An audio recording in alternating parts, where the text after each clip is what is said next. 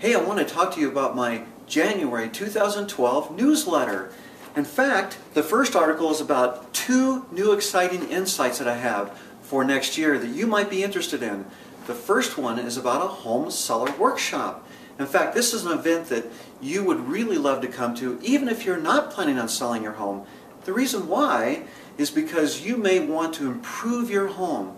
But if you are planning on selling your home, you would love to come and hear about some of the things that you can do that are very inexpensive things, cost-wise, that will bring you thousands in return. In fact, I highly recommend that you come to this event. The second life-changing insight that I'd like to share with you right now is the paleo diet. Have you ever heard of this before? Most of the people that I know have not heard of this. And I'm going to be producing a new show starting next week called the Paleo Diet Show. In fact, you should tune in to that show Here's the little segment intro to my show right now.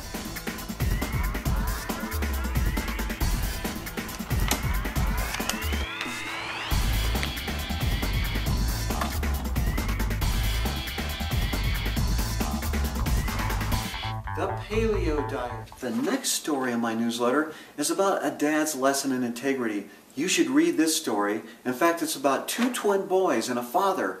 And the father takes the twin boys on their birthday to the amusement park and he teaches them a lesson in honesty. The final story in my newsletter is about a client that I helped. Her appraisal came in $8,000 low. And this is a story of how we split the difference with the seller through the closing costs.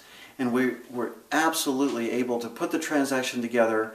And splitting the difference in many cases is the answer to a lot of problems. If you would like to get the full version of these stories in this newsletter in your hands, either hard copy or email to you, make a comment below or reply to this message and I would be happy to add you to the list.